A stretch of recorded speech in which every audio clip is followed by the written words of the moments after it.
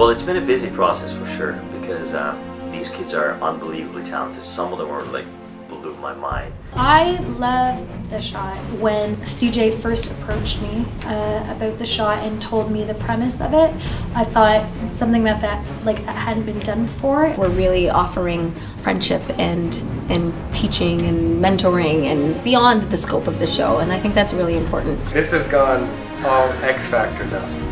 I'm really glad that I get to do this again and just get to perform another time with the shot and get all this experience. Saturday was actually the most nerve-wracking part of it, and it was the shortest part of it because I had no idea what to expect. This is really a chance to, to get a mentor and to develop your skills further. It's not, it's not all about competition.